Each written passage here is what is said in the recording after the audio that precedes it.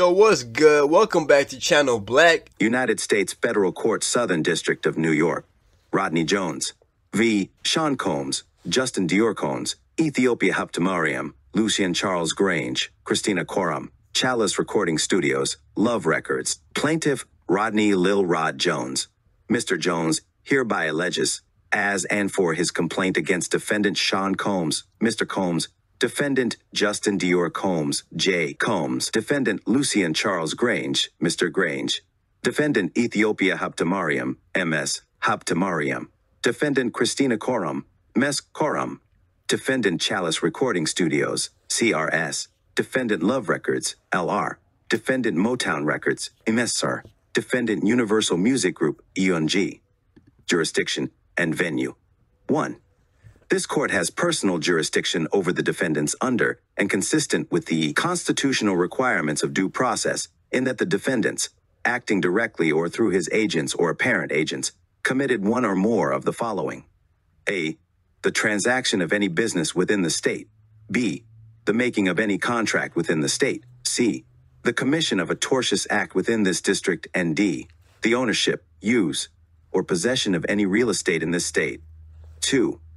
From September 2022 to the date of this filing, defendants have consistently and purposefully availed themselves of the privilege of conducting activities within New York, thus invoking the benefits and protections of New York law.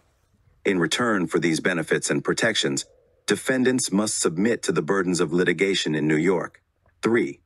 This litigation arises from or relates to the tortious activities defendants visited upon.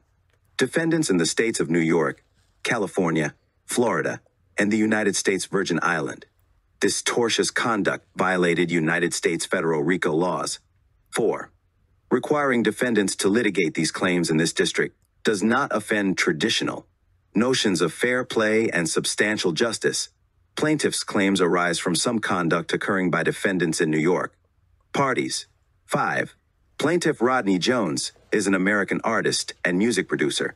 Mr. Jones resides in the states of New York and California. 6. Defendant Sean Combs is a rapper and record executive popularly known by his stage names Puff Daddy, Puffy, P. Diddy, Diddy, Brother Love or Love. Mr. Combs came to fame in the early 1990s with his record label Bad Boy Records. He rose to prominence in the music and entertainment industry over the decades and is regularly referred to as a hip hop mogul. Mr. Combs resides at Defendant Sean Combs. 7. Defendant Justin Dior Combs is the son of Mr. Combs and Misa Hilton. Jay Combs was born on December 30th, 1993. Jay Combs is a producer and actor. He has appeared on TV series like Catfish, The TV Show, Wild and Out, and Hip Hop Squares.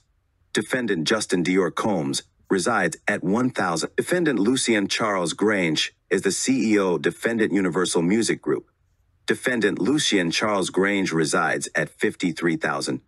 Defendant Ethiopia Habtemariam is the former CEO of Defendant Motown Records, the parent company of Defendant Love Records. Defendant Kristina Khorram is the chief of staff to Sean Diddy Combs, Combs Global Enterprises.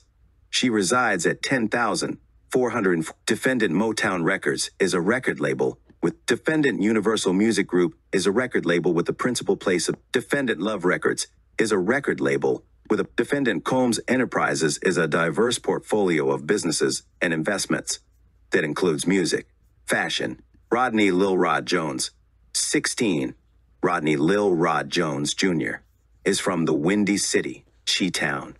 He was born and raised in Chicago, Illinois. Mr. Jones is the second oldest son and fourth child out of nine siblings. Mr. Jones comes from a long line of gospel music influencers. 17. Mr. Jones started playing instruments at the age of five. He began playing drums in church. And at the age of 13, he picked up playing the guitar. From 13 to present, Mr. Jones is considered a musical prodigy. His talents have led him to produce and create a commercial marketplace for music that has been recorded by some of the most prestigious and highly acclaimed artists in music history. 19. Throughout the duration of his career, Mr. Jones has worked the south side of Chicago music scene, playing with the following legendary greats Georgia Mass Choir, Donald Lawrence, the Clark sisters, and the Smokie Norful. 20. On or about August 2022, Mr. Jones received a call from Mr. Combs requesting that he produce several songs on a rhythm and blues album titled The Love Album, Off the Grid, Love Album. 21. Mr. Jones agreed, and his life has been detrimentally impacted ever since. Summary of events 22. From September 2022 to November 2023, Mr. Jones produced nine songs on Mr. Combs' Love Album. 23. Mr. Jones lived with Mr. Combs for months at a time, spending holidays, birthdays, and missing major family events. 24. Mr. Jones resided at Mr. Combs' residence located in Los Angeles, California, New York City, and Miami, Florida. Mr. Jones also spent several weeks on a yacht rented by Mr. Combs in the U.S. Virgin Islands. 25. Throughout his time with Mr. Combs, Mr. Jones witnessed, experienced, and endured many things that went far beyond his role as a producer on the Love album. 26. The claims raised in this complaint have been corroborated through witness statements, video audio recordings, and images that Mr. Jones has in his possession. 27. Mr. Combs required Mr. Jones to record him constantly. On several occasions, Mr. Combs took Mr. Jones' cell phone and began recording himself. As a result, Mr. Jones has secured hundreds of hours of footage and audio recordings of Mr. Combs, his staff, and his guests engaging in serious illegal activity. 28. Mr. Jones has secured irrefutable evidence of A. The acquisition, use, and distribution of ecstasy, cocaine, GHB, ketamine, marijuana, and mushrooms. B. The displaying and distribution of unregistered illegal firearms. Mr. Combs providing laced alcoholic beverages to minors and sex workers at his homes in California, New York, the U.S. Virgin Islands, and Florida. D. Mr. Combs' chief of staff, Kristina Khorram, Take, instructing her staff to retrieve drugs so she can provide it to Mr. Combs for his consumption. E. Christian Combs drugging and sexually assaulting a woman too. F. Mr. Combs detailing how he planned to leverage his relationship with Bishop T.D. Jakes to soften the impact on his public image of Cassie Ventura's lawsuit. G. Yung Miami's cousin and or assistant sexually assaulting Mr. Jones. H. Actor Cuba Gooding Jr. Sexually harassing and assaulting Mr. Jones. I. Rapper 3 redacted on Mr. Combs' yacht, consorting with underage girls, sex, workers, and J. R&B Singer 4 redacted in Mr. Combs' Los Angeles home consorting with underage girls and sex workers. Chalice Recording Studio shooting. 29. On or about September 12, 2022, Mr. Combs held a writers and producers camp at Chalice. Recording studio present at this camp were Mr. Combs, his son Justin Combs, and Justin's friend named G, 31. Mr. G is a 30 year old tall African American male, 32. In addition to these individuals, other musicians were present at the camp. This writer has spoken to several musicians who attended the camp. 33. One evening during, this camp, Mr. Combs, J. Combs, and G were in a heated conversation. 34. That conversation was moved out of the studio and into a restroom adjacent to where Mr. Jones was sitting. 35. Mr. Jones was approximately two feet away from the bathroom when gunshots rang out. Mr. When this writer spoke with several employees of the yacht, rented by Mr. Combs in the U.S. Virgin Islands who personally witnessed defendant Khorram instruct her staff, Brendan Paul, Frankie Santella, and Moy Bond spike bottles of champagne with ecstasy. 2. A complaint is forthcoming. 3. He is a Philadelphia rapper who dated Nicki Minaj. 4. He is a Grammy Award winning ramp B singer who had trouble with law enforcement after assaulting a Bajan billionaire. Mr. Jones immediately went into a state of shock and feared that he would be shot next. Mr. Jones genuinely believed that he would be shot through the door due to how close he was. 37. After the shooting ended, a crowd gathered around the restroom. 38. When the door finally opened, Mr. Combs and J. Combs exited. 39. GG was lying on the restroom floor in a fetal position, holding his stomach and bleeding out of his leg hip area. 40. Everyone stood around looking upon G. Frustrated by the lack of aid to G, Mr. Jones dropped everything, ran to GG, and immediately began placing pressure on G's gunshot wound to his stomach. 41. As he was applying pressure on his stomach, Mr. Jones realized that G was gushing blood from another area near his leg hip. 42. He decided to lift G and placed him to sit on the toilet. Mr. Jones asked the crowd to call the ambulance. 43. Mr. Jones lifted G and brought him to the ambulance at the studio's front. At this time, Mr. Combs and Justin disappeared to another part of the studio. 44. Mr. Combs gave strict instructions to inform the police that he had nothing to do with the shooting. He also forced Mr. Jones to lie to the police by telling them that G was shot standing outside the studio by a drive-by assailant. 45. Mr. Jones has several corroborating witnesses who spoke with this writer anonymously due to fear of retaliation from Mr. Combs. They have agreed to speak publicly when subpoenaed. 46. Mr. Jones has the clothing he wore that day and believes it may still have the stains and DNA of Gigi's blood. 47. The following are screenshots of the aftermath of the restroom where G was shot by either Mr. Combs or J. Combs. Aftermath of the shooting of G. 48. Clearly, G was not shot outside of the studio as Mr. Combs instructed his team to report to law enforcement. 49. Mr. Combs and defendants LR, MR, UMG, and CRS provided private security for the writers. Camp at defendants CRS. 50. The security was porous and lackluster at best. 51. The fact that either Mr. Combs and J. Combs were allowed to enter CRS with guns, and those guns were not confiscated by security is a clear breach of duty by Mr. Combs, defendants LR, Mr. and UMG to protect Mr. Jones and the other attendees of this writer's camp. 52. As a result of this shooting, Mr. Jones is severely traumatized. Mr. Jones now suffers from PTSD, severe anxiety, depression, and insomnia. Mr. Jones was sexually harassed and assaulted by Mr. Combs 53. Throughout his time living with Mr. Combs, Mr. Jones was the victim of constant unsolicited and unauthorized groping and touching of his anus by Mr. Combs. 54. These events took Louisiana's in LA, New York, Florida, and the United States Virgin Islands. 55. In addition to the unsolicited and unauthorized touching, Mr. Jones was forced by Mr. Combs to work in Mr. Combs's bathroom as Mr. Combs walked around naked and showered in a clear glass enclosure. 56. As a heterosexual Christian man, Mr. Jones was uncomfortable with Mr. Combs' advances and expressed his discomfort to Mr. Combs' chief of staff, Kristina Khorram, KK 57. KK responded to Mr. Jones' complaint with, You know, Sean will be Sean. 58.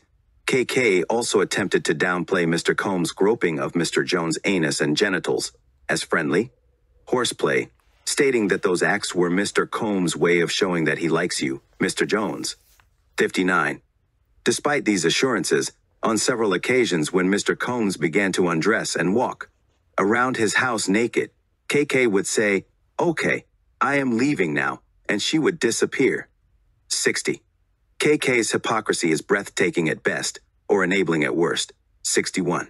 Mr. Jones believes that KK aided and abetted Mr. Combs' sexual assault of him and was working with Mr. Combs to groom him into accepting a homosexual relationship. 62. Through these sexually deviant acts, one would say Mr. Combs has a pattern and practice of engaging in such nefarious activity. This ongoing conduct shows that Mr. Combs cannot be rehabilitated. Mr. Combs attempted to groom Mr. Jones into engaging in gay sex 63. Mr. Combs was aware that Mr. Jones looked up to and idolized music producer Steven Aaron. Jordan, Stevie J. 64. Stevie J is an American DJ, record producer, and television personality. 65. Stevie J was part of the Bad Boy Records production team The Hitmen. 66. In 1997, Stevie J won a Grammy Award for his work on Puff Daddy's debut album. 67. Throughout the late 1990s, Stevie J produced for several artists including Mariah Carey, Tevin, Campbell, The Notorious Big, Jodeci, Faith Evans, Jay-Z, and Eve. 68. Stevie J was one of the producers on the Love album. 69. Mr. Combs used access to Stevie J and his knowledge of Mr. Jones' admiration of Stevie J to groom and entice Mr. Jones to engage in homosexuality. 70. Mr. Combs went so far as to share a video of Stevie J anally penetrating a Caucasian male without a condom. This was done to ease Mr. Jones's anxiety concerning homosexuality. According to Mr. Combs, this is a normal practice in the music industry. Look, even Stevie J is doing it. 71. Mr. Combs informed Mr. Jones that he had engaged in sexual intercourse with rapper. Redacted, R&B Singer 6, redacted, and Stevie J. Mr. Combs promised to make sure that Mr. Jones wins Producer of the Year at the Grammys if he engaged in homosexuality. 73. The following are screenshots of the video 7 of Stevie J anally penetrating a Caucasian male that Mr. Combs provided to Mr. Jones. 5. He is a Philadelphia rapper who dated Nicki Minaj. 6. He performed at the Super Bowl and had a successful Vegas residency. 7. This writer is in possession of the video and will provide a copy to the court. Thanksgiving 2022. Mr. Jones is sexually assaulted by Yung Miami's cousin, 74. On Thanksgiving Day 2022, Mr. Jones was in Mr. Combs' house located in Miami, Florida. Yung Miami and her female cousins were also present. 75. Mr. Combs was intoxicated and offered cocaine to Mr. Jones. Mr. Jones rejected him and proceeded to walk to the restroom. 76. While using the restroom, Yung Miami's cousin burst into the bathroom and began groping. Mr. Jones. Mr. Jones believes that Mr. Combs sent her in there to sexually assault Mr. Jones. 77. As she entered the bathroom, she dropped to her knees and began performing oral sex on Mr. Jones' exposed penis. Mr. Jones pushed her away and exited the bathroom. 78. Yung Miami's cousin did not accept Mr. Jones' rejection as she proceeded to follow Mr. Jones out of the bathroom. 79. She started undressing and attempted to straddle him and have sex with him in the presence of Mr. Combs and his staff. 80. Once again, Mr. Jones pushed her off. The following are images from a video 8 of Yung Miami, her cousin, Mr. Jones, and Mr. Combs. Mr. Jones and Mr. Combs on Thanksgiving Day, right before Mr. Combs invites Mr. Jones into the restroom and attempted to force him to take cocaine. Yung Miami and her female cousin who sexually assaulted Mr. Jones on Thanksgiving Day 2022. Trafficking and Victims Protection Act, 81. Throughout his time with Mr. Combs, Mr. Jones was transported from California to New York, Florida, and the United States Virgin Islands. 82. During this time, Mr. Jones was forced to solicit sex workers and perform sex acts to the pleasure of Mr. Combs. 83. On or about February 4, 2023, Mr. Combs forced Mr. Jones to bring prostitutes and sex workers back to his home in Miami, Florida. This writer is in possession of the video and will provide a copy to the court. The sex workers that Mr. Combs forced Mr. Jones to bring back to his home 84. On or about February 2, 2023 incident, Mr. Jones believes Mr. Combs drugged him. Mr. Jones recalls waking up naked, dizzy, and confused. He was in bed with two sex workers and Mr. Combs. He also recalls aimlessly wandering around the house with no clothes on. Sex workers in Mr. Jones' bed the morning after being drugged, 85. On another occasion in Miami, Florida, on Thanksgiving night of 2022, Mr. Combs asked Mr. Jones and DeForest Taylor to enter the studio bathroom. 86. He asked them for a $100 bill because he wanted them to do cocaine with him. 87. Mr. Jones was scared, but luckily, he didn't have a $100 bill, so Mr. Combs waited a little later to do coke with Yung Miami. 88. Later that evening, he required Mr. Jones to solicit sex workers from Booby Trap on the river. Located at 3615 NWS River Doctor, Miami, Florida 33142. Mr. Jones did so, and Mr. Combs forced him to engage in unsolicited sex acts with these workers. Booby trap on the river. 89. As part of Mr. Jones' sex worker recruitment tools, Mr. Combs provided Mr. Jones with an exclusive bad boy baseball cap and required him to wear it to booby trap on the river as a signal to any sex worker he approached that Mr. Combs was in town and had sent Mr. Jones to recruit them. 90. Mr. Jones had no desire to visit Booby Trap on the river. Mr. Jones had no desire to solicit sex workers from Booby Trap on the river. Mr. Combs used his power and influence to intimidate and force Mr. Jones into soliciting sex workers from Booby Trap on the river. As detailed below, Mr. Combs used many tactics to maintain dominion and control of Mr. Jones. 91. Apparently, these workers were accustomed to servicing Mr. Combs and would know that he is in town by the sight of the bad boy's baseball cap. 92. The following are Instagram profiles of two of the sex workers that Mr. Combs required Mr. Jones to solicit and have sex with at his home in Miami, Florida. 93. Mr. Jones had no desire to solicit and or have sex with the individuals in the previous paragraph. Mr. Combs used his power and influence to intimidate and force Mr. Jones into soliciting and sleeping with these women. 94. The following is the phone number of another sex worker that Mr. Combs required Mr. Jones to solicit and perform sex acts with at his home in Miami, Florida. 95. Mr. Jones had no desire to solicit and or have sex with the individual in the previous paragraphs. Mr. Combs used his power and influence to intimidate and force Mr. Jones into soliciting and sleeping with the individuals above. 96.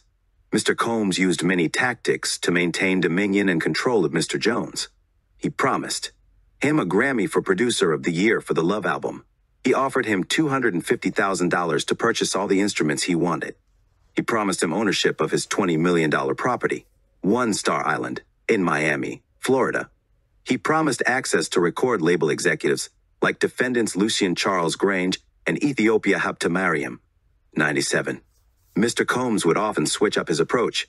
He would go from promising Mr. Jones the world to threatening Mr. Jones with physical harm. Mr. Combs threatened to eat Mr. Jones' face and informed Mr. Jones that he is willing to kill his mother, Janice Combs, if he must in order to get what he wants, so he wouldn't think twice to harm Mr. Jones.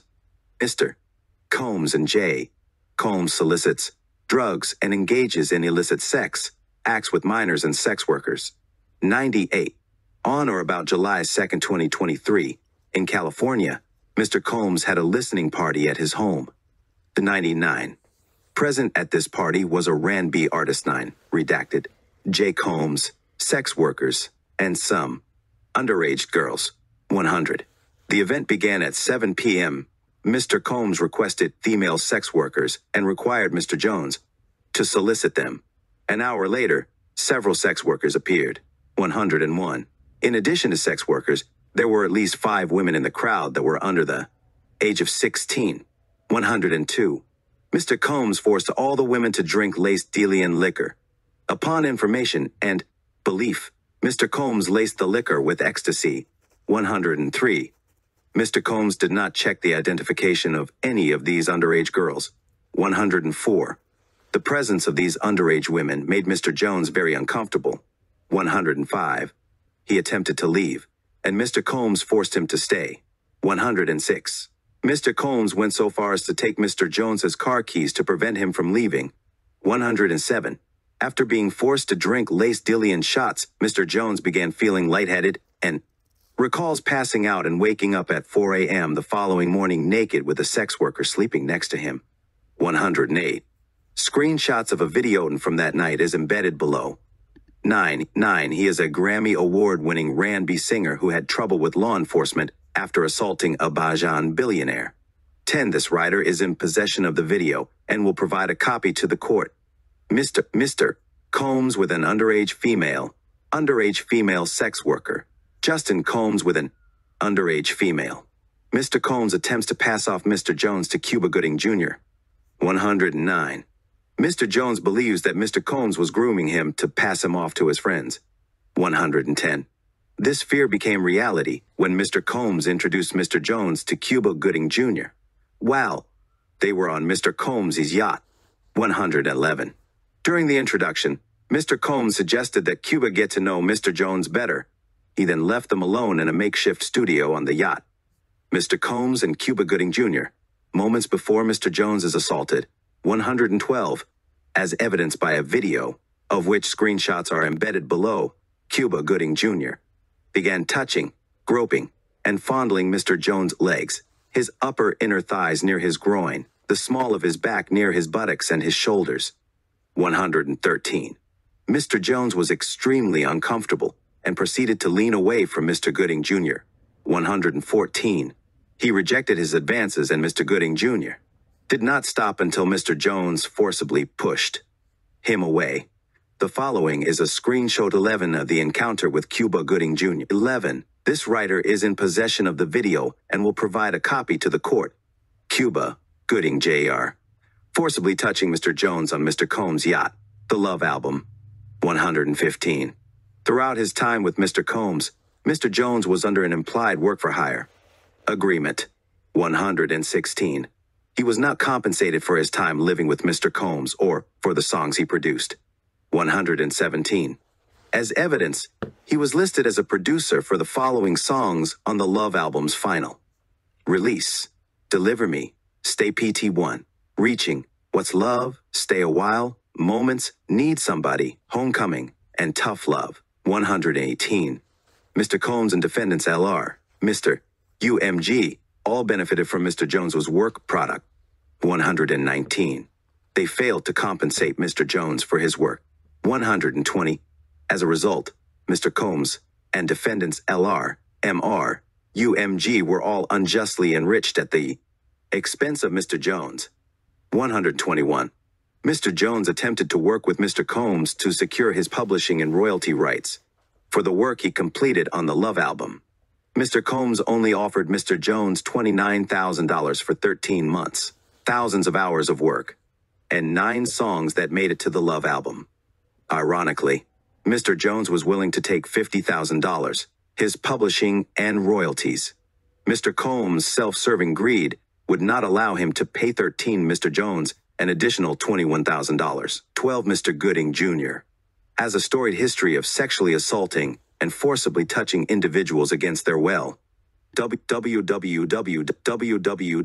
Mr. Combs' deceptive business practices became so bad that Mr. Jones was left with no choice other than to make a public plea on social media for Mr. Combs to pay him for his work. 123. After publicly requesting that Mr. Combs do the right thing and pay him fairly, Mr. Jones received an onslaught of threatening messages from Stevie J and Love Records under DeForest Taylor 14. DeForest Taylor threatening Mr. Jones. Mr. Combs used his power and influence to threaten and intimidate Mr. Jones. 124. According to Mr. Jones, Mr. Combs is very forceful and demanding. 125. Mr. Combs does not take no for an answer and would often threaten to inflict bodily harm on Mr. Jones if Mr. Jones did not comply with his demands. 126. As detailed above, Mr. Combs threatened to eat Mr. Jones's face. 14. As the A&R of Love Records. DeForest Taylor did not require Mr. Jones or any of the other creatives, musicians, or artists to sign an NDA. On another occasion, while standing in Mr. Combs' bedroom, Mr. Jones was forced to watch as Mr. Combs displayed his guns and bragged about getting away with shooting people. 128. Mr. Combs shared that he was responsible for the shooting in the nightclub in New York City with rapper Shyne. 129. He shared that artist and Mr. Combs' girlfriend at the time, Jennifer Lopez, also known as J-Lo, carried the gun into the club for him and passed him the gun after he got into an altercation with another individual. 130. The shooting in Chalice recording studios confirmed Mr. Combs' statements 131. These statements reinforced Mr. Jones's fear of Mr. Combs and strengthened Mr. Combs' dominion and control of Mr. Jones. 132. Mr. Jones was terrified of Mr. Combs. He felt like he could not tell him no. 133. Mr. Combs consistently made it clear that he has immense power in the music industry and with law enforcement. 134. Mr. Combs made it clear that his head of security, Faheem Muhammad, Mr. Muhammad, had the power to make people and problems disappear. Faheem Muhammad, 135. Mr. Combs instructs his staff to always contact Mr. Muhammad if they are ever pulled over by the police in Miami or California. 136. Upon information and belief, Mr. Muhammad spoke with the LAPD after G was shot at CRS. The LAPD was in CRS and witnessed the blood in the restroom, and they went with the bogus claim that the shooting of G occurred outside of the studio. This was all thanks to Mr. Muhammad's connections within law enforcement. 137. Mr. Jones had no reason to disbelieve Mr. Combs as he had seen firsthand through the shooting of G and the subsequent silence of the LAPD and the media that Mr. Combs indeed had the power to harm him. 138. The LAPD spent hours in CRS after the shooting of G, yet there were no arrests. Mr. Jones witnessed the LAPD in the restroom pictured above, yet no arrests were made. 139. The morning after the shooting, Mr. Jones and several others arrived at CRS and G's blood was still on the floor of the restroom, and Mr. Combs hired a cleaning crew to clean it up. Defendants Ethiopia Habtemariam, Lucian Charles Grainge, Motown Records, Love Records, and UNIVER SLMUSICGR aided, abetted, and profited off of Sean Combs RICO Enterprise 140. Mr. Jones recalls seeing defendant Grainge visiting Mr. Combs' home in Miami, Florida. And according to Mr. Jones, whenever defendant Grainge visited Mr. Combs at his homes, it would be in the evening, and he and Mr. Combs would disappear for hours in Mr. Combs' bedroom. 142. Defendant Grainge sponsored and attended several Love album listening parties at Mr. Combs' home in Los Angeles, California. These parties were sponsored by defendants Mr. LR and UMG. As evidence above, these parties had sex workers and underage girls present. 143. During these parties, defendant Grainge knew or should have known that Mr. Combs was drugging the attendees through laced bottles of De tequila and Ciroc vodka. 144.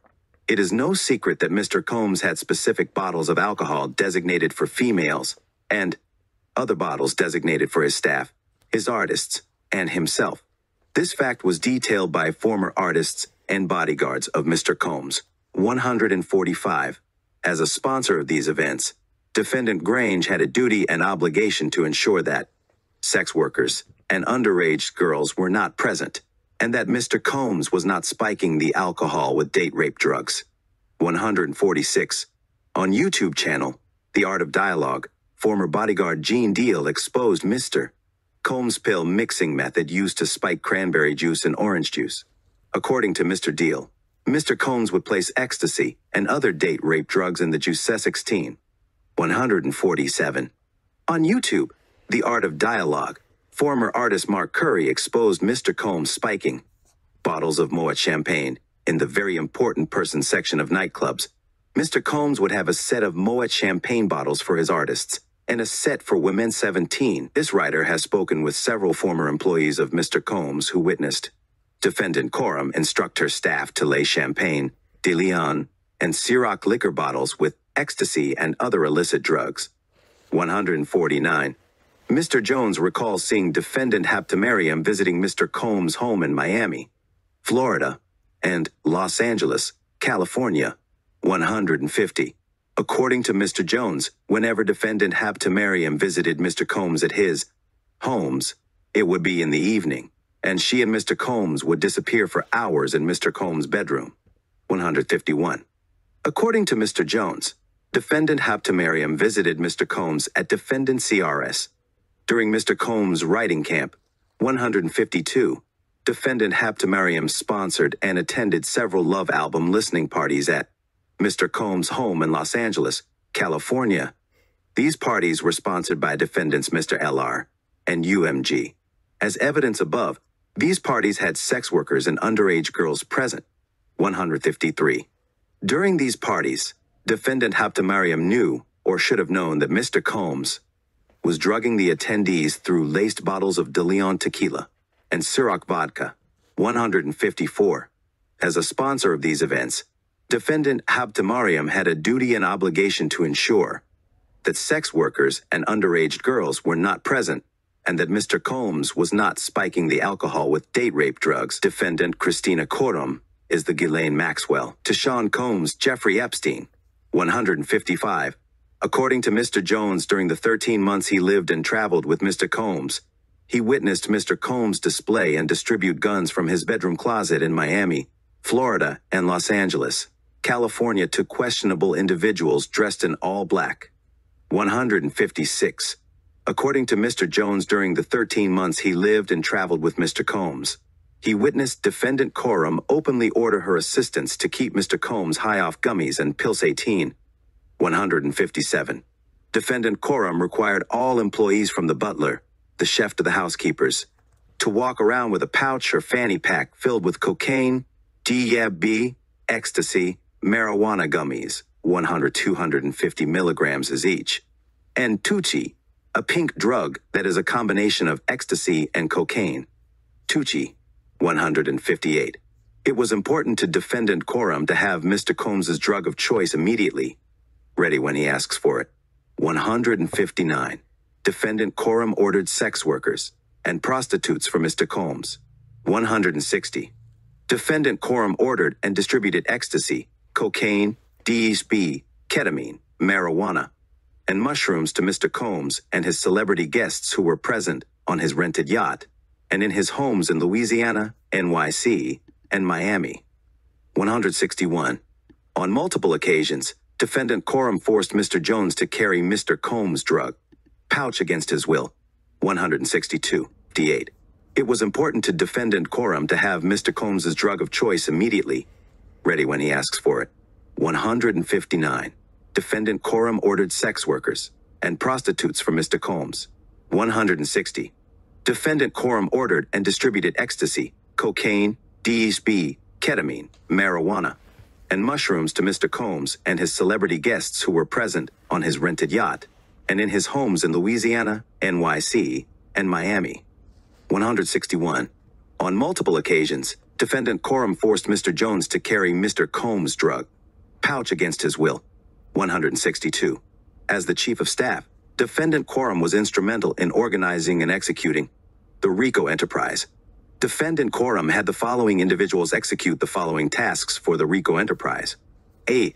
Stevie J, recruits sex workers, and attends and participates in Freak Offs 19. B. Justin Combs solicits prostitutes, underage girls, and sex workers. Would engage in freak offs. C. Brendan Paul works as Mr. Combs' mule. He acquires and distributes Mr. Combs, drugs, and guns. 18. We have a recording of this and will provide it to the court. 19. We have a video of Mr. Combs, Stevie J, and Plaintiff Jones at a strip club. Mr. Combs is recording the video while coaching and training Plaintiff Jones how to recruit the sex workers. Brendan Paul and Mr. Combs, D. Frankie Santalatwini, works alongside Brendan, while Brendan acquires and distributes Mr. Combs' drugs and guns. Frankie carries the money and pays for the guns and drugs. Frankie Santella and Sean Combs, E. Moy Bon, hires sex workers, attends and participates in freak offs. 20 Vice President of Music Management ANDAMP, Strategic Partnerships Vice President of Music Management ANDAMP, Strategic Partnerships, Combs Global, Moy Bon, Thanksgiving 2022 when Mr. Combs offered Mr. Jones cocaine, 163. Mr. Combs funded and used his affiliation with local gangs and gang leaders 21 who would frequent his homes in Louisiana and Miami to secure the drugs and guns he obtained and distributed out of his homes in Louisiana and Miami. 164. Defendants executed their RICO enterprise with threats of violence, threatening to eat. Plaintiff's face, displaying and distributing guns in plaintiff's presence, bragging about having law enforcement under control, bragging about murdering people, and bragging about bribing witnesses and jurors in the criminal case concerning the 1999 NYC nightclub shooting with Shyne. 165 defendants executed their RICO enterprise with threats of isolation from the music and entertainment industry, parading powerful music industry executives such as defendants Lucian Charles Grainge, Ethiopia Habtemariam at his parties filled with sex workers, minors, and illegal drugs, such as ecstasy, cocaine, DHB, ketamine, marijuana, and mushrooms. 166. Defendants executed their RICO enterprise with threats of non payment for work, completed, fake promises of cash payments, $250,000, producer of the year Grammy Awards, and guaranteed access to future projects, and a $20 million home on Star Island in Miami. 21 plaintiff has intentionally left the names and images of these individuals out of the pleading out of fear of retaliation. Mr. Combs is allowed to wreak havoc. 167. While living and traveling with Mr. Combs, Mr. Jones discovered that Mr. Combs has hidden cameras in every room of his homes. 168. Mr. Jones believes that Mr. Combs has recordings of defendants Lucian Charles Grainge, Ethiopia Habtemariam, as well as other celebrities, music label executives, politicians, and athletes. 169. Upon information and belief, these individuals were recorded without their knowledge and consent, and as is the case with the homosexual sex tape of Stevie J that Mr. Combs provided to Mr. Jones. Mr. Combs possesses compromising footage of every person that has attended his freak off parties and his house parties. 170. Upon information and belief, due to this treasure trove of evidence he has in his possession, Mr. Combs believes that he is above the law and is untouchable. 171. Upon information and belief, Mr. Combs employs Jose Cruz as his IT director. This writer has spoken to several former employees of Mr. Combs who confirmed that Jose Cruz is the gatekeeper to all of Mr. Combs' recordings. 172. Upon information and belief, Jose Cruz intentionally hides behind the camera and from social media and the internet due to all of the incriminating acts he was required to record for Mr. Combs. First cause of action. Conduct and participate in a RICO enterprise through a pattern of racketeering activity. Violation of Racketeer Influenced and Corrupt Organization Act, codified at 18 USC 1962A, CD against defendants Lucian Charles Grainge, Ethiopia Habtemariam, Sean Combs, Justin Combs, Kristina Khorram, Combs Global, Motown Records, Love Records, and Universal Music Group. 173. Mr. Jones incorporates by reference all preceding paragraphs and realleges them as if set forth fully herein. 174. As respondeat superior, defendants Lucian Charles Grainge, Ethiopia Habtemariam, Combs Global, Motown Records, Love Records, and Universal Music Group, the Respondeat Superior Collective, are 100% liable for the actions of Sean Combs, Justin Combs, Kristina Khorram, as they were acting in their capacities as the Respondeat Superior Collectives. Employees when they committed the acts detailed below. The Respondeat Superior Collective failed to adequately monitor, warn, or supervise the actions of Sean Combs, Justin Combs, and Kristina Khorram. 175. Defendants are individuals and or entities within the meaning of person as defined in 18 USC 1961-3 because each is capable of holding and does hold a legal or beneficial interest in property. The association is composed of Lucian Charles Grainge, Ethiopia, Habtemariam, Sean Combs, Justin Combs, Kristina Khorram, Combs Global, Motown, Records, Love Records, Universal Music Group, JOHN, and JANEDOEC, and a BC. Corporations 1 minus 10, 176, Section 1962A makes it unlawful for any person who has received any income derived, directly or indirectly, from a pattern of racketeering activity or through a collection of an unlawful debt in which such person has participated as a principal within the meaning of Section 2, Title 18, United States Code, to use or invest, directly or indirectly, any part of such income, or the proceeds of such income, in the acquisition of any interest in, or the establishment or operation of, any enterprise which is engaged in, or the activities of which affect interstate or foreign commerce.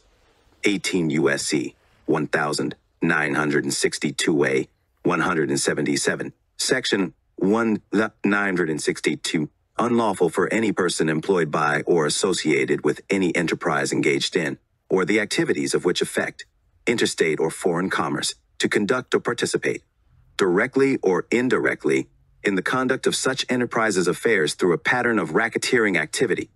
18 USC 1962 C 178, Section 1962D makes it unlawful for any person to conspire to violate Section 1962 and C, among other provisions, 18 U.S.C. 1962D 179.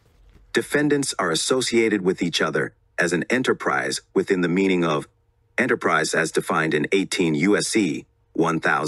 1961 4 180. Defendants have unlawfully increased their profits by luring and deceiving producers, musicians, writers, creators, and artists such as plaintiff to transport drugs, ecstasy, cocaine, GHB, ketamine, marijuana, and mushrooms, transport firearms, solicit minors, exotic dancers, sex workers, and to utilize their talents and labor to produce music and other tangible goods and services without compensation. 181. The RICO enterprise, which all defendants have engaged in, and the activities of which affected interstate and foreign commerce, is comprised of an association, in fact, of persons, including each defendant and other unnamed co conspirators.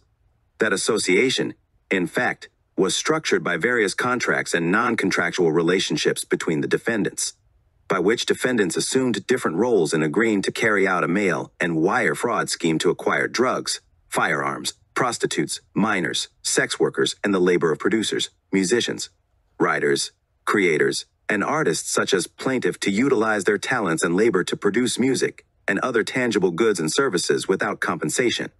182. The members of the RICO enterprise all share a common purpose to enrich themselves, financially and sexually at the expense of producers, musicians, writers, creators, and artists by maximizing defendants' revenues through fraudulent means. As set forth herein, defendants benefited financially from their scheme to defraud plaintiff by intimidating plaintiff with threats of violence, threatening to eat plaintiff's face, displaying and distributing guns in plaintiff's presence, bragging about having law enforcement under control, bragging about murdering people, and bragging about bribing witnesses. And jurors in the criminal case concerning the 1999 NYC nightclub shooting with Shyne. Threats of isolation from the music and entertainment industry, parading powerful music industry executives such as defendants Lucian Charles Grainge, Ethiopia Habtemariam at his parties filled with sex workers, minors, and illegal drugs such as ecstasy, cocaine, GHB, ketamine, marijuana, and mushrooms. Threats of non payment for work completed, fake promises of cash payments, $250,000, Producer of the Year Grammy Awards, and guaranteed access to future projects. A $20 million home on Star Island in Miami, which defendants would not have done but for the existence of the scheme. 183.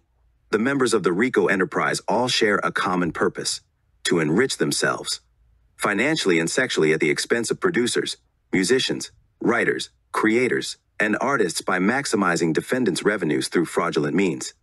As set forth herein, defendants benefited financially from their scheme to defraud plaintiff, including by making false representations that claim that loyalty and obedience to Mr. Combs will result in cash, payments, $250,000, Grammy Awards, access to future projects, access to famous celebrities, access to famous athletes, a $20 million home on Star Island in Miami.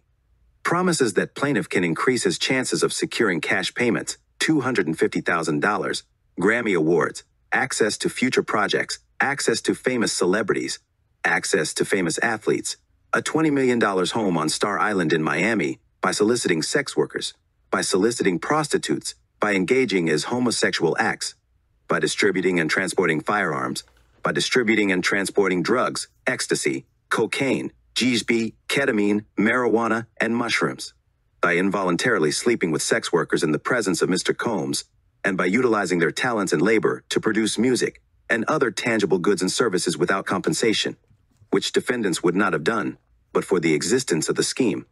184. Upon information and belief, this RICO enterprise has existed for at least 20 years, dating back to the 1999 nightclub shooting in NYC, when Mr. Combs required his then girlfriend, Jennifer Lopez, to transport his illegal firearm into the NYC nightclub. Mr. Combs forced his then artist, Shyne, to assume responsibility for the shooting of several individuals. Mr. Combs used his power, money, and influence to bribe jurors and witnesses such as the friend of the shooting victim, Natania Reuben, who reported to law enforcement that she saw Mr. Combs and not Shyne pull the trigger and shoot her friend in the face. Natania Reuben later testified at Mr. Combs' criminal trial that she was tying her shoe and may not have seen who shot the gun. She later confessed that Mr. Combs paid her. 185. The RICO enterprise continued throughout the years, including during Mr. Combs's 10 year relationship with his girlfriend, Cassie Ventura. According to Ms. Ventura's civil complaint, this RICO enterprise continued in her relationship when Mr. Combs forced her to carry his gun in her purse, forced her to engage in unwanted sexual acts with male prostitute sex workers, forced her to consume dangerous amounts of ecstasy, cocaine, DJs B, ketamine, marijuana, and alcohol, and paying a member of his security team $5,000 to blow up the vehicle of Kid Cudi because he was jealous and insecure of their relationship. 186. The RICO enterprise continued from September 2022 to the present day, as evidenced by the hundreds of hours of video and audio recordings in plaintiff's possession, defendants Sean Combs, Justin Combs, Kristina Khorram, his assistants and staff all orchestrated, participated, managed and executed the RICO enterprise by purchasing and distributing ecstasy, cocaine, GHB, ketamine, marijuana, and mushrooms by purchase and distributing firearms, by requiring the solicitation of sexual encounters with prostitutes, sex workers, and miners, and by forcing artists, creatives, musicians, and producers to utilize their talents and labor to produce music and other tangible goods and services without compensation. The RICO enterprise has functioned as a continuing unit and maintains an ascertainable structure separate and distinct from the pattern of racketeering activity. 187. The enterprise was characterized by the defendant's pattern of false representations and omissions made by defendants Sean Combs, Justin Combs, Kristina Khorram, and other current and former members of the defendant's associates and staff to defendant's artists, creatives, musicians, and producers. These false representations and omissions were designed to induce defendant's artists, creatives, musicians, and producers to utilize their talents and labor to produce music and other tangible goods and services without compensation, as well as the solicitation of sexual encounters with prostitutes, sex workers, and minors, and the purchasing and distribution of illegal firearms and drugs. 188.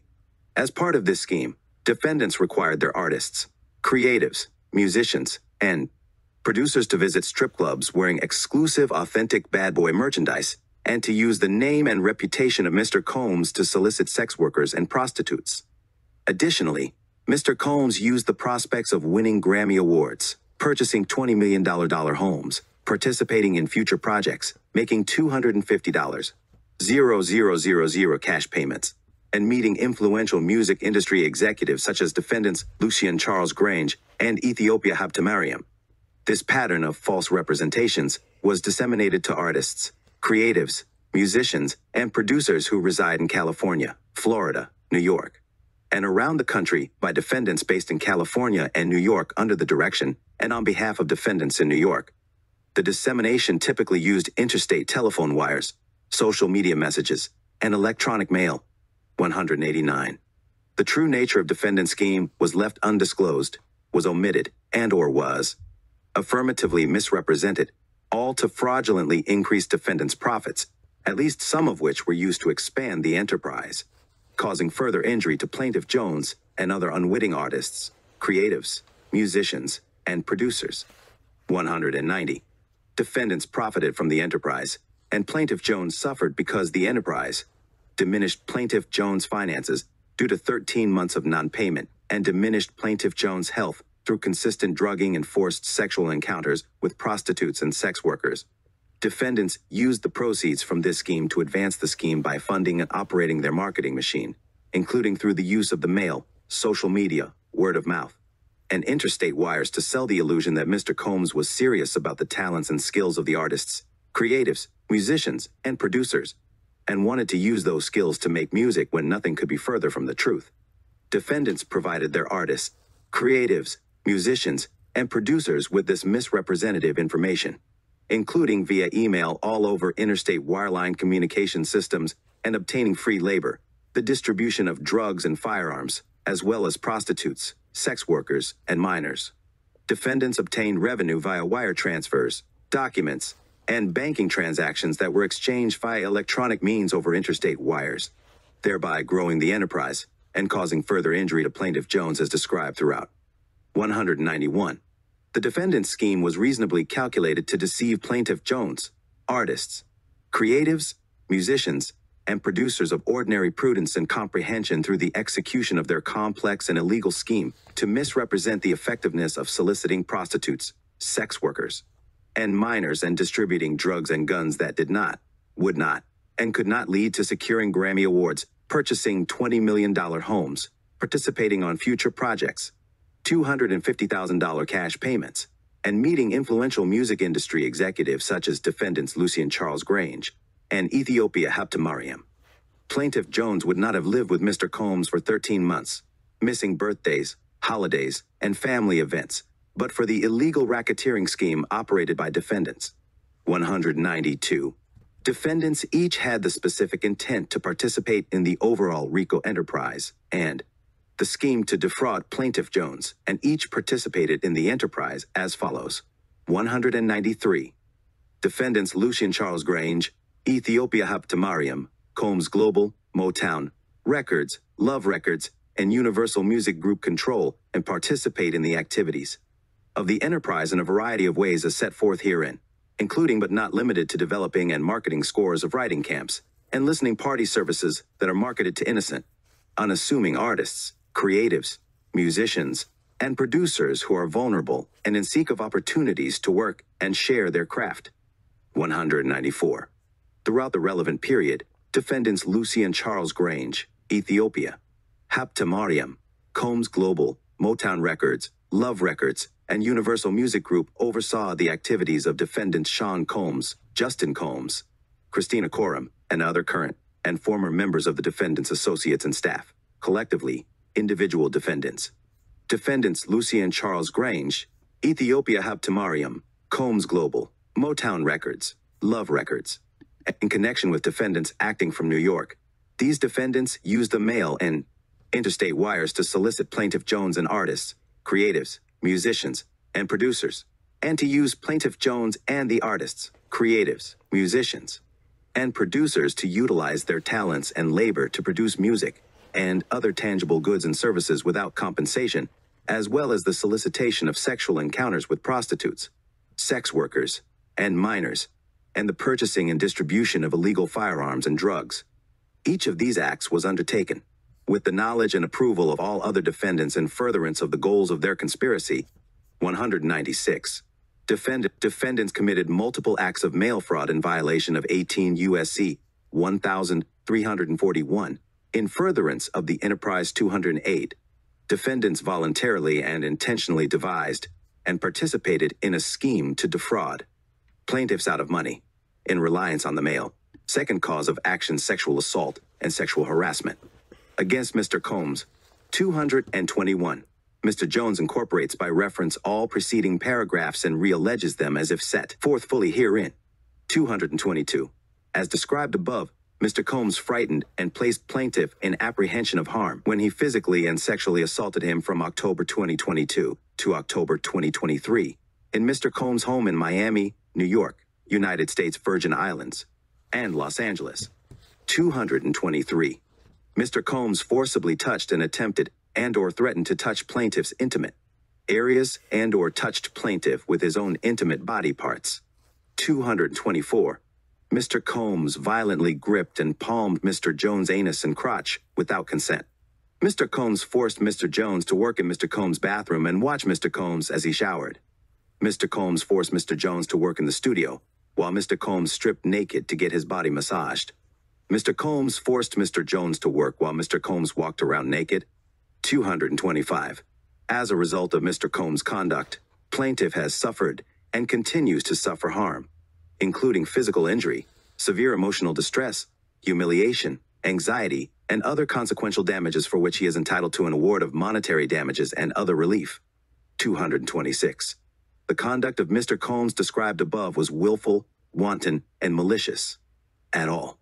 Relevant times, Mr. Combs acted with conscious disregard for plaintiff's rights and feelings, acted with the knowledge of or with reckless disregard for the fact that his conduct was certain to cause injury and or humiliation to plaintiff, and intended to cause fear, physical injury. 22 damages shall include, but not be limited to, all damages permitted under the New Jersey Racketeer Influenced and Corrupt Organizations Act, and or pain and suffering to plaintiff. By virtue of the foregoing, plaintiff is entitled to recover punitive damages. Third cause of action, California's bystander negligent infliction of emotional distress. Against Mr. Combs and defendant Justin Combs, 227. Mr. Jones incorporates by reference all preceding paragraphs and realleges them as if set, forth fully herein. 228. Mr. Jones brings this claim against Mr. Combs and J. Combs for the CRS shooting of G. The elements of bystander and IED are 1. is closely related to the injury victim, 2. is present at the scene of the injury producing event at the time it occurs, and is then aware that it is causing injury to the victim, and 3. as a result suffers serious emotional distress, a reaction beyond that which would be anticipated in a disinterested witness, and which is not an abnormal response to the circumstances. Rava. Superior Court, 154 Cal, App, 4th 142, 148, 64 Cal, RPTR. 3 539, 542, 2007, 230. As detailed above, Mr. Jones was two feet away from Gigi as either J. Combs or Mr. Combs shot him multiple times in the restroom of CRS. As detailed above, Mr. Jones was the only individual that aided GG as he laid on the bathroom floor in a fetal position bleeding out.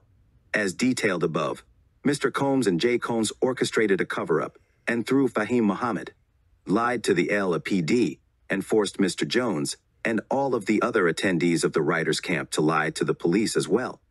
Mr. Combs and Jay Combs knew that they shot Gigi in the restroom and that Gigi was shot as he was leaving the studio. 231. Mr. Combs and Jay Combs' intentional deception caused a delay in G receiving immediate medical care as the ambulance parked three blocks away from CRS out of fear that there was an active shooting. Mr. Jones had to run down the block and convince them that the shooting had ended. 232. These events traumatized Mr. Jones. It caused Mr. Jones to suffer from insomnia, PTSD, severe anxiety, and depression. Additionally, the fear and silence from the remaining witnesses aided in the reinforcement of Mr. Combs' statements that he is untouchable. 233. As a result of Mr. Combs and J. Combs' conduct, Plaintiff Jones has suffered and continues to suffer harm, including severe emotional distress, anxiety, and other consequential damages for which he is entitled to an award of monetary damages and other relief. 234. The conduct of Mr. Combs and J. Combs described above was willful, wanton, and malicious.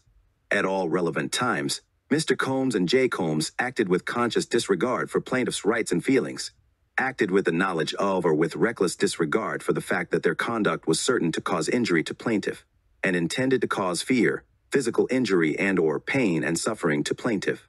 By virtue of the foregoing, plaintiff is entitled to recover punitive damages. Fourth cause of action, sexual assault against Jane Doe 1, Yung Miami's cousin. 235. Mr. Jones incorporates by reference all preceding paragraphs and realleges them as if set. Forth fully herein. 236. As described above, Jane Doe 1 frightened and placed plaintiff in apprehension of harm when she physically and sexually assaulted him on Thanksgiving Day 2022 in Mr. Combs' home in Miami, Florida. 237. Jane Doe 1 forcibly touched and attempted and or threatened to touch plaintiff's intimate areas and or touched plaintiff with her own intimate body parts. Jane Doe 1 used her mouth and performed oral sex on plaintiff while he was urinating in the restroom. Plaintiff fought her off, while Mr. Combs and his associates sat outside loudly laughing. Jane Doe 1 then followed Mr. Jones outside of the restroom and began undressing in front of Mr. Combs and his associates, straddled Mr. Jones and attempted to have forced sexual intercourse with him. 238. As a result of Jane Doe 1 foot's conduct, plaintiff has suffered and continues to suffer harm, including physical injury, severe emotional distress, humiliation, anxiety, and other consequential damages for which he is entitled to an award of monetary damages and other relief. 239. The conduct of Jane Doe 1 described above was willful, wanton, and malicious. At all relevant times, Jane Doe 1 acted with conscious disregard for plaintiff's rights and feelings, acted with the knowledge of, or with reckless disregard for the fact that her conduct was certain to cause injury and or humiliation to plaintiff, and intended to cause fear, physical injury and or pain, and suffering to plaintiff. By virtue of the foregoing, plaintiff is entitled to recover punitive damages. Fifth cause of action, premises liability for the sexual assault committed by Jane Doe 1, Yung Miami's cousin, against Mr. Combs. 240, Mr. Jones incorporates by reference all preceding paragraphs and realleges them as if set forth fully herein. 241. Mr. Jones was sexually assaulted by Jane Doe 1 in Miami, Florida on Thanksgiving 2022. Mr. Combs was present while Mr. Jones was being assaulted by Jane Doe 1. Mr. Jones was legally on the premises as a guest, an invitee of Mr. Combs. Jane Doe 1 was legally on the premises as a guest and invitee of Mr. Combs. Mr. Combs owned the premises and had dominion and control over the premises where Mr. Jones was harmed.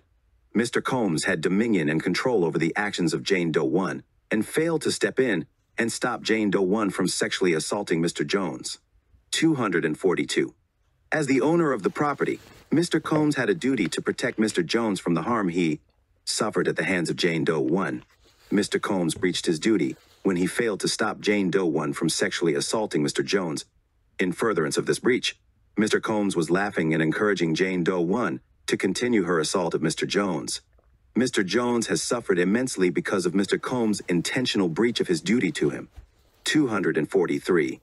As a result of Mr. Combs' breach of his duty, Mr. Jones has suffered and continues to suffer harm, including severe emotional distress, anxiety, and other consequential damages for which he is entitled to an award of monetary damages and other relief. 244. The conduct of Mr. Combs described above was willful, wanton, and malicious. At all relevant times, Mr. Combs acted with conscious disregard for plaintiff's rights and feelings, acted with the knowledge of or with reckless disregard for the fact that their conduct was certain to cause injury to plaintiff, and intended to cause fear, physical injury and or pain and suffering to plaintiff. By virtue of the foregoing, plaintiff is entitled to recover punitive damages. Sixth cause of action, premises liability for the sexual assault committed by Cuba Gooding Jr. against Mr. Combs, 245. Mr. Jones incorporates by reference all preceding paragraphs and realleges them as if set forth fully herein. 246. Here, Mr. Jones was sexually assaulted by Cuba Gooding Jr. on a yacht rented by Mr. Combs in the U.S. Virgin Islands in January 2023. Mr. Combs was present while Mr. Jones was being assaulted by Cuba Gooding Jr. Mr. Jones was legally on the premises as a guest and invitee of Mr. Combs. Cuba Gooding Jr. was legally on the premises as a guest and invitee of Mr. Combs. Mr. Combs owned, through renting, the premises and had dominion and control over the premises where Mr. Jones was harmed. Mr. Combs had dominion and control over the actions of Cuba Gooding Jr. and failed to step in and stop Cuba Gooding Jr. from sexually assaulting Mr. Jones. 247. As the owner of the property, Mr. Combs had a duty to protect Mr. Jones from the harm he suffered at the hands of Cuba Gooding Jr. Mr. Combs breached his duty when he failed to stop Cuba Gooding Jr. from sexually assaulting Mr. Jones. In furtherance of this breach, Mr. Combs encouraged Cuba Gooding Jr. to continue his assault of Mr. Jones when he said that Cuba Gooding Jr. should privately get to know Mr. Jones better. Mr. Jones has suffered immensely because of Mr. Combs' intentional breach of his duty to him. 248. As a result of Mr. Combs' breach of his duty, Mr. Jones has suffered and continues to suffer harm, including severe emotional distress, anxiety, and other consequential damages for which he is entitled to an award of monetary damages and other relief. 249. The conduct of Mr. Combs described above was willful, wanton, and malicious at all. Relevant times, Mr. Combs acted with conscious disregard for plaintiff's rights and feelings acted with the knowledge of or with reckless disregard for the fact that their conduct was certain to cause injury to plaintiff, and intended to cause fear, physical injury and or pain and suffering to plaintiff. By virtue of the foregoing, plaintiff is entitled to recover punitive damages. Seventh cause of action trafficking and Victims Protection Act against defendant Sean Combs, Justin Combs, Kristina Khorram, and Combs Global. 250. Mr. Jones incorporates by reference all preceding paragraphs and re-alleges them as if set forth fully herein. 251. Defendants Sean Combs, Justin Combs, Kristina Khorram, and Combs Global knowingly and intentionally participated in, perpetrated, assisted, supported, facilitated a sex trafficking venture that was in and affecting interstate and foreign commerce, together and with others, in violation of 18 U.S.C. 1590, 1 1, 252. Among other things, defendants Sean Combs, Justin Combs, Kristina Khorram, and Combs Global knowingly and intentionally recruited, enticed, provided, obtained, advertised, and solicited by various means Mr. Jones, as well as other class members, knowing that defendants Sean Combs, Justin Combs, Kristina Khorram, and Combs Global would use means of force, threats of force, fraud, coercion, and a combination of such means to cause Mr. Jones, as well as others, some of whom were under the age of 17, to engage in commercial sex acts. 253 defendants Sean Combs, Justin Combs, Kristina Khorram, and Combs Global and its employees had actual knowledge that they were perpetrating and facilitating Mr. Combs' sexual abuse and sex trafficking conspiracy to recruit, solicit, entice, coerce, harbor, transport, obtain, and provide Mr. Jones as well as others whom were under the age of 17 into commercial sex acts through the means of force, threats of force, fraud, abuse of process, and coercion. 254. Despite such knowledge, defendant Sean Combs, Justin Combs, Kristina Khorram, and Combs Global intentionally paid for, facilitated, perpetrated, and participated in Mr. Combs' violations of 18 U.S.C. 1591A1, which defendants Sean Combs, Justin Combs, Kristina Khorram, and Combs Global knew, and were in reckless disregard of the fact that Mr. Combs would coerce, defraud, and force Mr. Jones to engage in commercial sex acts. 255. Defendants Sean Combs, Justin Combs, Kristina Khorram, and Combs Global's actions were in and affecting interstate and foreign commerce, including its music distributing and publishing activities, which were in and affecting interstate and foreign commerce. 256. By taking the concrete steps alleged in this complaint, defendants Sean Combs, Justin Combs, Kristina Khorram, and Combs Global knowingly participated in sex trafficking and furthered the Combs sex trafficking venture. The concrete steps constituted taking part in the sex trafficking venture and were necessary for its success. The concrete steps constituted active engagement by defendants Sean Combs, Justin Combs, Kristina Khorram, and Combs Global in Mr. Combs' sex trafficking venture. Defendants Sean Combs, Justin Combs, Kristina Khorram, and Combs Global knew that its active engagement would lead to and cause coercive commercial sex trafficking 257. As part of perpetrating TVPA violations between on or about September 12, 2022, and through about November 2023, defendants Sean Combs, Justin Combs, Kristina Khorram, and Combs Global concealed its delivery of hundreds of thousands of dollars in cash to Mr. Combs and his associates. 258.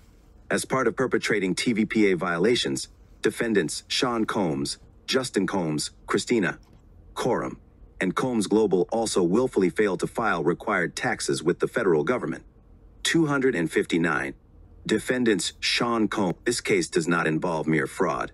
Instead, defendants Sean Combs, Justin Combs, Kristina Khorram, and Combs Global's criminal conduct in perpetrating TVPA violations was outrageous and intentional because it was in deliberate furtherance of a widespread and dangerous criminal sex trafficking organization. Defendants Sean Combs, Justin Combs, Kristina Khorram, and Combs Global's criminal conduct also evinced a high degree of moral turpitude and demonstrated such wanton dishonesty as to imply criminal indifference to civil obligations. Defendants Sean Combs, Justin Combs, Kristina Khorram, and Combs Global's criminal conduct was directed specifically at Mr. Jones, who was the victim of Mr. Combs' sexual abuse and sex trafficking. Harassment. 263. defendants Sean Combs, Justin Combs, Kristina Khorram, and Combs Globals. Outrageous and intentional conduct in this case is part of a pattern and practice of defendants Sean Combs, Justin Combs, Kristina Khorram, and Combs Global profiting by undertaking illegal high risk, high reward actions, obstruction of the enforcement of the trafficking victim, Protection Act, 18 USC 1591 and D, against defendants Lucian Charles Grainge, Ethiopia Habtemariam, Motown Records, Love Records, and Universal Music Group. 319. Mr. Jones incorporates by reference all preceding paragraphs and realleges them as if set forth fully herein. 320. Defendants Lucian Charles Grainge, Ethiopia Habtemariam, Motown Records, Love Records, and Universal Music Group and its officers and employees knowingly and intentionally obstructed, attempted to obstruct, interfered with, and prevented the enforcement of 18 USC 1591A1 and DAMP, a, t, all in violation of 18 USC 1591D. This activity is hereinafter referred to collectively simply as obstruction. 321. Defendants Lucian Charles Grainge, Ethiopia Habtemariam, Motown Records, Love Records, and Universal Music Group's obstruction of the enforcement of 18 USC 1591A1 and A2 was forbidden by 18 USC 1591D. And defendants Lucian, defendant Sean Combs has a well-documented history of criminal investigations. Defendants Lucian Charles Grainge, Ethiopia Habtemariam, Motown Records, Love Records, and Universal Music Group were on notice of Mr. Combs' proclivity to criminal activity. They knew or should have known that Mr. Combs' sex trafficking operation would or could result in a criminal investigation by state and federal prosecutors for violating, among other laws, the TVPA. Defendants Lucian Charles Grainge, Ethiopia Habtemariam, Motown Records, Love Records, and Universal Music Group should have taken a key from the federal prosecutor's arrest and prosecution of Jeffrey Epstein on or about July 8, 2019. On or about that date, the U.S. Attorney's Office for the Southern District of New York indicted Epstein and unnamed associates for violating the TVPA. Later, on June 29, 2020, the same office indicted Epstein's company conspirator, Ghislaine Maxwell, for conspiracy to entice minor victims to travel to be abused by Epstein. Mr. Combs, defendants J. Combs, Khorram and her direct reports, Brendan Paul, Frankie Santella, and Moy Bon all engaged in the same activities as Mr. Epstein and Ms. Maxwell. In fact, Mr. Combs, defendants J. Combs, Khorram and her direct reports, Brendan Paul, Frankie Santella, and Moy Bon may have done worse by providing financing for Mr. Combs' sex trafficking organization and concealing its actions thereafter. Defendants Lucian Charles Grainge, Ethiopia Habtemariam, Motown Records, Love Records, and Universal Music Group obstructed, interfered with, and prevented the state and federal government enforcement of the TVPA against Mr. Combs, defendants J. Combs, Khorram and her direct reports, Brendan Paul, Frankie Santella, and Moy Bon. To the extent that the federal government was able to ultimately charge Mr. Combs, defendants J. Combs, Khorram, and her direct reports, Brendan Paul, Frankie Santella, and Moy Bon with TVP violations. The filing of those charges was delayed by defendants Lucian Charles Grainge, Ethiopia Habtemariam, Motown Records, Love Records, and Universal Music Group's actions. Because of that delay, Mr. Jones was coercively caused to engage in commercial sex acts. 324. As one example of how defendants Lucian Charles Grainge, Ethiopia Habtemariam, Motown Records, Love Records, and Universal Music Group obstructed, attempted to obstruct, interfered with, and prevented state and federal government's enforcement of the TVPA. Defendants Lucian Charles Grainge, Ethiopia Habtemariam, Motown Records, Love Records, and Universal Music Group provided large amounts of cash to Mr. Combs and his associates so that the coercive commercial sex acts would escape the detection of state and federal law enforcement and prosecuting agencies. Defendants Lucian Charles Grainge, Ethiopia Habtemariam, Motown Records, Love Records, and Universal Music Group provided large amounts of cash to further the Mr. Combs. Defendants Jay Combs, Khorram, and her direct reports. Brendan Paul, Frankie Santella, and Moy Bond's sex trafficking venture, and with the purpose of helping Mr. Combs, defendants Jay Combs, Khorram, and her direct reports. Brendan Paul, Frankie Santella, and Moy Bond evade criminal liability by providing large amounts of cash to Mr. Combs and his associates, defendants Lucian, Charles Grainge, Ethiopia Habtemariam, Motown Records, Love Records, and Universal Music Group intended and knew that Mr. Combs' coercive commercial sex acts would escape the detection of law, enforcement, and prosecuting agencies for some period of time. Defendants Lucian 334. This case does not involve mere fraud. Instead, defendants Lucian Charles Grainge, Ethiopia Haptamariam, Motown Records, Love Records, and Universal Music Group's criminal conduct in obstructing enforcement of the TVPA was outrageous and intentional because it was 335. By virtue of these violations of 18 USC 1591D, defendants Lucian Charles Grainge, Ethiopia Habtemariam, Motown Records, Love Records, and Universal Music Group is liable to Mr. Jones for the damages he sustained and reasonable attorney's fees by operation of 18 USC 1595. Defendants Lucian Charles Grainge, Ethiopia Habtemariam, Motown, Records, Love Records, and Universal Music Group perpetrated an obstruction of the TVPA, and therefore perpetrated a violation of Chapter 77, Title 18, Prayer for Relief. Wherefore, plaintiff prays that the court enter judgment in her favor and against defendants, containing the following relief. A. A declaratory judgment that the actions, conduct, and practices of defendants complained of herein violate the laws of the state of New York. B. An award of damages against defendant in an amount to be determined at trial, plus prejudgment interest to compensate plaintiff for all monetary and or economic damages, including, but not limited to, loss of past and future income, wages, compensation, seniority, and other benefits of employment. C. An award of damages against defendant in an amount to be determined at trial, plus prejudgment interest to compensate plaintiff for all non-monetary and or compensatory damages, including, but not limited to, compensation for her mental anguish, humiliation, embarrassment, stress and anxiety, emotional pain and suffering, and emotional distress, a D, an award of punitive damages, in an amount to be determined at trial, E, prejudgment interest on all amounts due, F, an award of costs that plaintiff has incurred in this action, including, but not limited, to, expert witness fees, as well as plaintiff's reasonable attorney's fees and costs to the fullest extent permitted by law, and G, such other and further relief as the court may deem just and proper. Jury demand. Plaintiff hereby demands a trial by jury on all issues of fact and damages stated herein, dated